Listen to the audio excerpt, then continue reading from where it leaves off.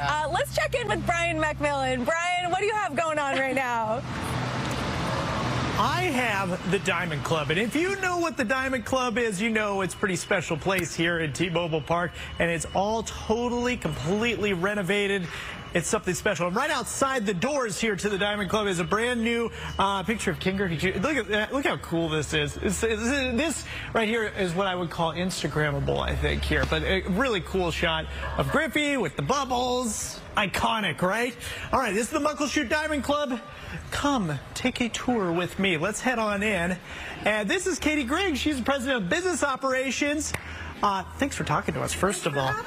This is spectacular in here. I mean, uh, when we first walked in, it was just like, wow, unbelievable. I remember what it looked like before. How has this room changed? Uh, it's been fundamentally transformed. we could not be more excited to be welcoming our fans in here today. I mean, as you can see, we have a roughly 20 foot wide 4K television in here. If you want to watch sports before the game, uh -huh. this is the absolute best place to do it. It almost feels like a like a sports book almost in, in, in, in a Vegas casino. It's so cool. And the bar used to be, I remember, in the middle of, of everything, and now it's uh, it's a big long bar here at the end. Well, we had an opportunity here because obviously if you look up, you can see that the ceiling follows all of the seats in the bowl. Yeah. Previously, we had a dropped ceiling here. So by just simply elevating that, it really gives you a sense of the scale of this building and gives us an opportunity to let this be a feature wall inside here. And this is going to be more of like a fine dining experience down here, right? It is. I mean, this is a place where you come in before the game, you have a great time, you have a drink, you have some incredible food,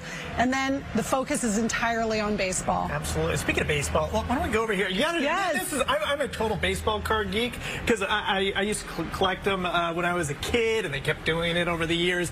And, and, this is so incredibly cool. What is this? This is the My Oh My baseball card wall. So if you are a baseball card fan, this is the wall for you. There are lots of Easter eggs in here. There's even a Scott Servais card. There is. The Griffey oh, wow. rookie card is in here, so I'm not going to ruin the fun by pointing them all out. But when you're in here, you have an opportunity to really see Mariners history.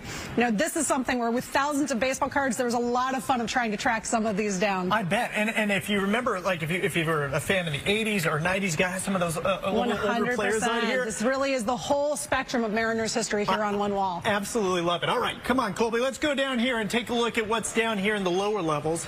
Uh, you, you, know, it's, it's two levels now. I know that now for all the people who are sitting in the Diamond Club seats, now there's room for everybody, we, right? We had an opportunity to expand significantly. So our interview room, we relocated, so we have a brand new interview room, but that allowed us to have even more space for our fans to congregate before and after games. So what is over here now? This is brand new. This is the uh, the creamery. The creamery. Rumor has it some of our fans will have a sweet tooth, and so this is the space for you. We've got homemade, fresh-made waffle cones, oh. which smell incredible. Any ice creams you can desire, but most importantly, we did not lose the candy wall. Okay, the candy was, wall remains. That was like, it's funny because uh, one of our staff was like, they didn't get rid of the candy wall, did they? It, Colby, you got to check that out. Look at that candy wall. It looks like a movie theater over there, and that has a whole bunch of different candies, right? Oh, we've got something for everyone over there. So yes, if you have a sweet tooth, this is a place for you. And we also know we're in Seattle. Coffee, espresso is important. If you round the corner, you've got an espresso bar as well. So there's there really is. Bar? There's an espresso bar right around, around, the corner. Here. Check so, this out. Okay, espresso bar here, more seating out here, and then this takes you right out. Takes you right out to the absolute best seats in the house. You could not be closer to home plate. It really is. If you are a baseball fan, this is a place to be. This is a spectacular space, and congratulations on it opening. I'm sure it took a lot to get here, and, and we, we, we checked out the press club as well.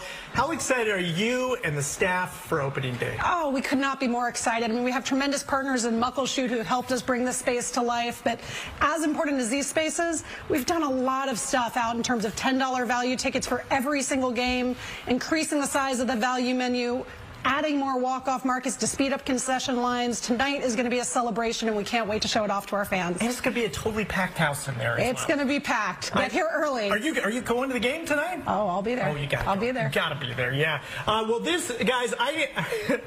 I need to find somebody who has season tickets down here so I can beg them for for at least one game to experience this. This is pretty spectacular. Well, you can take some candy on the way out. We'll share. Yes. I had a little bit earlier up in the press room. Yeah. All right. Let's send it back to you guys. Brian, thank you so much. You are having a blast, my friend.